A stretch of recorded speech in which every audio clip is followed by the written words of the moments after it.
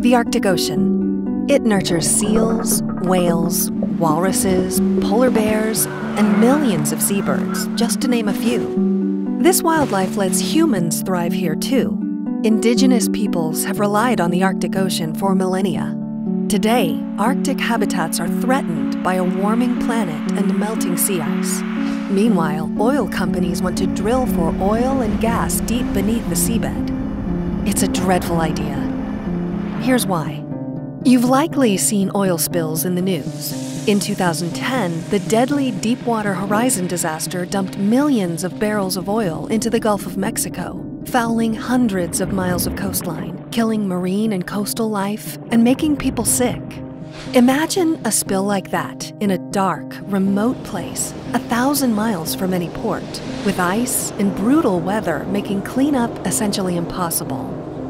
Offshore drilling doesn't just threaten life in the Arctic, it's bad for the whole planet. To meet goals the US set to combat climate change, we must accelerate our transition to clean, renewable energy and leave fossil fuels under the Arctic Ocean. In a few short weeks, the Obama administration will decide whether to offer federal drilling leases in the Arctic Ocean. So the time to act is now. Tell the Obama administration to keep it under the sea.